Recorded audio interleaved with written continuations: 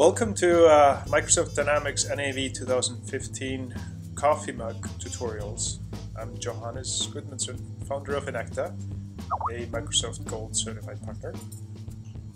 In this easy to follow instructional video series, I'll show you how to use Microsoft Dynamics NAV by using a one simple item as an example, in this case a coffee mug.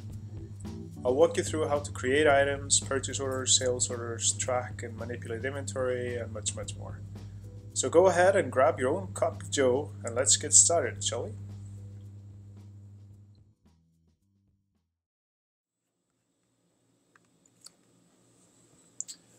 Now I'm going to show how to create a item in NAV. Uh, we just started, we are actually a furniture store but we start, just started uh, selling coffee mugs. So I need to create a, a coffee mug, um, standard coffee mug, uh, that we're going to start shipping out. I am the sales order processor, but normally uh, sales department does not deal with uh, creating items.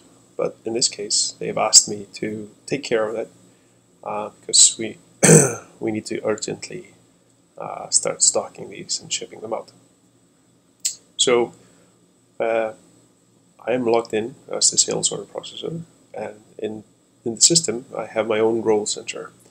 Uh, the system is role tailored, so when I log in, I get only the things that I need to see as a sales order processor. Uh, I have my actions on top here; they're all sales related. I have my tiles giving me information about status of things. And on the side, I have a menu of items that I can quickly get to. One of them is items. Uh, I need to create a new item, so I go into the item list. Uh, that gives me a list of all items, and as you can see, that's an interactive list. And the site fact boxes um, actually give me details on every single item as I click on them. Uh, what I want to do now is create a new item. So just hit new. And here it asks me for a number. I sequentially number my uh, items, so I just want the system to pick a new number. I can just do that by hitting enter, and then the system assigns automatically the next number in the sequence. The description is going to be a coffee mug, uh, and I'm going to dash standard because I might have standard, might have different coffee mugs than standard. Right now we only have one coffee mug to sell. It's the standard coffee mug. Um, that's it. Now I want to say what the base unit measure is. And the base unit measure is the lowest uh, unit, usually defined as the lowest unit that we traded in.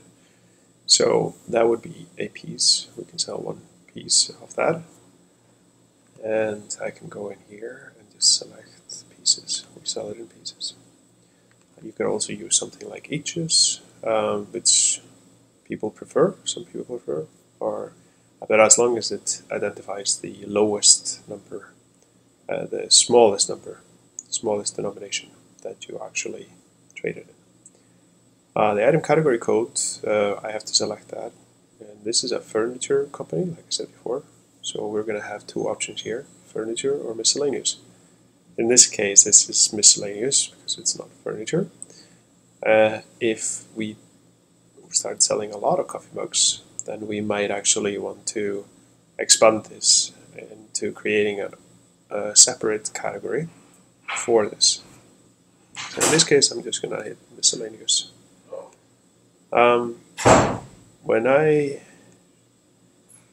and now go to creating a, um, going into the detail of the item, I can see that there are red stars where I need to populate things.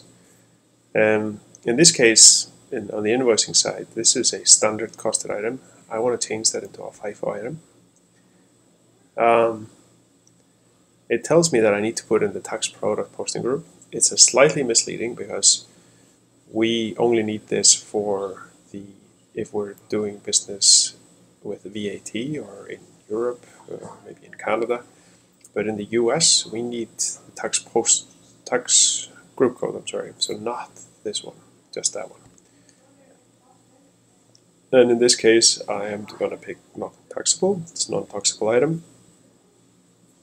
And that's just for simplicity. Obviously, it is taxable item most of the time, unless there's a tax certificate um, that the reseller has. But right now, we're not concerned with setting up tax.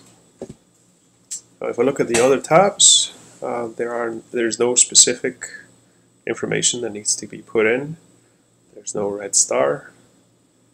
Um, so this is all we need to create our first item. And then I just hit OK. The system saves immediately when you leave a field, so there's no save. Uh, but I hit OK, and then I can take a look at my item by filtering on it in my list. So I start typing coffee, and here we have, I actually do have another item there, the standard coffee mug um, generated by a colleague of mine. Uh, that's it.